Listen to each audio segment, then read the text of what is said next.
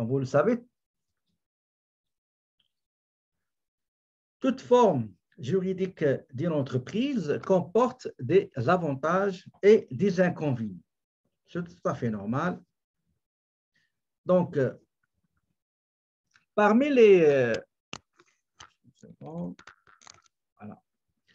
parmi les avantages euh, d'une société non collective, les formalités de création sont simples et peu coûteuses. Vous, désirez former une entreprise, euh, en, une société en nom collectif, en fait, effectivement, la création d'une société en nom collectif et euh, euh, l'entreprise individuelle, pour personne physique, vraiment, leur création, elle est simple, très facile, très simple, pas beaucoup de, formulaires à remplir et ça coûte pas cher. D'accord? Donc, pour le nom collectif, 55 dollars pour la création, euh, création euh, pour un traitement normal, régulier, et 82 dollars et demi pour accélérer, traitement accéléré, urgent, prioritaire. Ça, c'est parmi les avantages.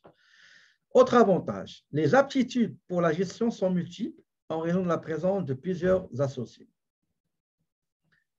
Quand vous êtes seul dans une entreprise, l'inconvénient, c'est que vous allez supporter tout seul le fardeau de fonctionnement de la gestion de l'administration de l'affaire.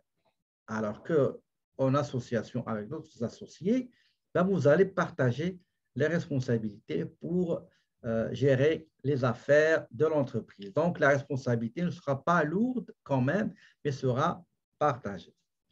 Le financement est facilité par le nombre plus élevé d'associés. Les banques se sont ainsi mieux protégées. Moi, je peux ajouter autre chose à cet avantage. C'est que généralement, même si vous êtes nombreux, même si on dit que les, banques se sentent ainsi mieux protégées, mais quand est-ce qu'ils vont se sentir mieux protégés, c'est quand ils vont prendre des garanties personnelles. D'accord? Donc, ça aussi, c'est un avantage. Les pertes sont partagées entre les associés selon la part de chacun dans l'entreprise. Chaque associé peut déduire sa part des pertes de ses autres revenus. Comme vous le savez, et ça on l'a fait dans, dans la déclaration des revenus des particuliers fédéral et Québec, nous avons vu dans, dans, le, dans le, la liste des revenus gagnés à déclarer nous allons voir, nous avons vu aussi euh, revenus d'entreprise net. Revenus d'entreprise net. Et si vous, et si vous réalisez en tant qu'associé euh, dans une société en collective, vous avez réalisé une perte, ben, vous allez prendre cette perte-là et vous allez la mettre euh, dans votre déclaration, ce qui va déduire, bien sûr, le, le, le revenu imposable. D'accord? Les inconvénients. La continuité pose un problème au moment du départ ou de la mort d'un associé. Moi, je ne trouve pas ça comme désavantage. Pourquoi? Parce que si euh, ça, c'est un désavantage au cas où il y a deux, deux associés.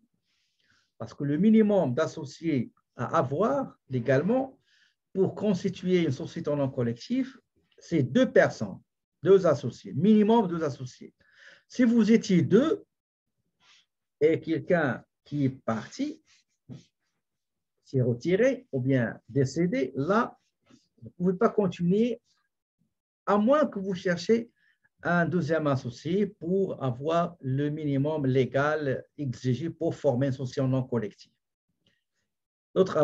Des avantages, il y a possibilité de conflit entre les associés, ça c'est tout à fait normal, même les conflits se font même dans, dans, dans au sein d'un foyer, c'est tout à fait normal.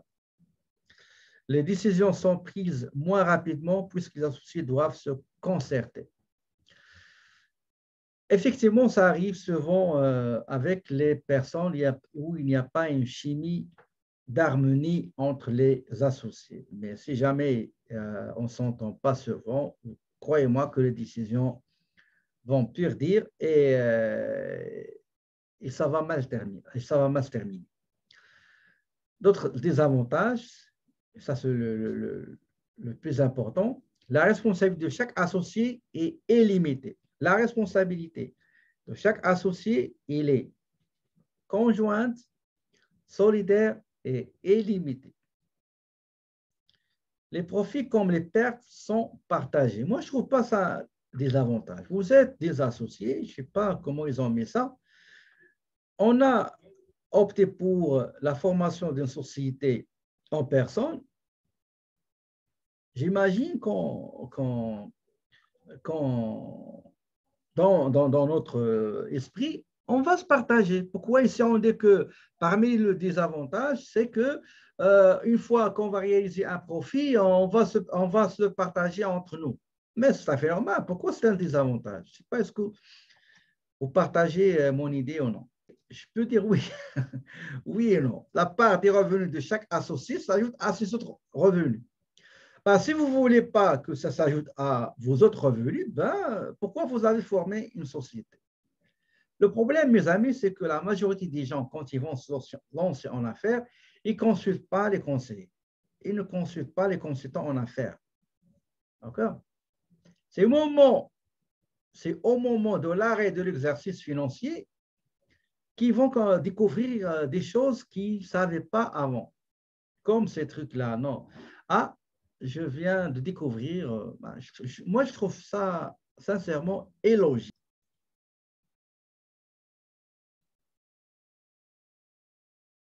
Le contrat de société.